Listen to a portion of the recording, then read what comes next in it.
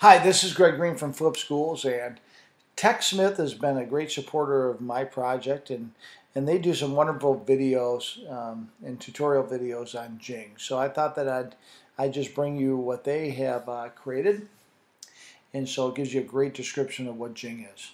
Here you go.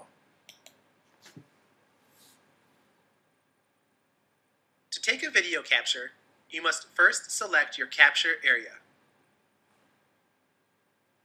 Then choose Video to start the capture. A countdown appears, and your recording will then start. Perform the actions you'd like to show. Jing will record everything that takes place within the capture area. The audio from your microphone will also be recorded, so you can explain what's happening on your screen.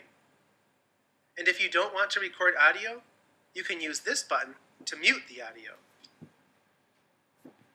You can also pause the recording using this button.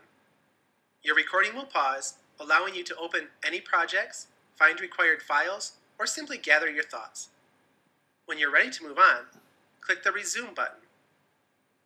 I should mention that the maximum recording length for both Jing and Jing Pro is 5 minutes, so be sure to keep that in mind. When you're finished, click the Stop button. A Jing preview window will open and you can play back and review your video. Are you happy with the outcome? If so, then give your video a name or just leave the timestamp. And then, take a look at the share options at the bottom of the preview window. You can send your capture to screencast.com, which is probably the best way to share your video. But you can also save it to your computer, share it on Twitter or Facebook, and if you have the pro version of Jing, you can upload it to YouTube. You can configure these options and more by using this button.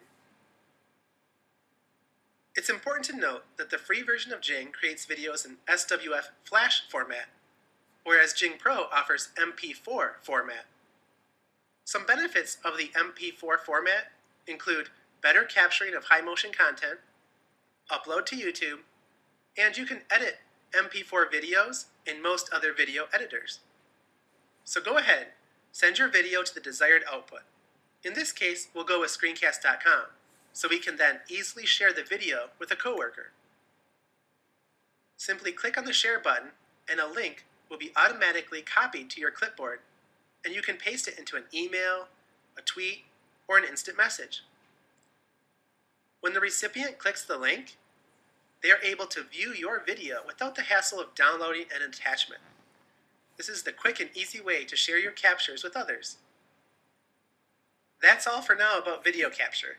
I encourage you to check out the other tutorials on the Jing Learning Center. Bye!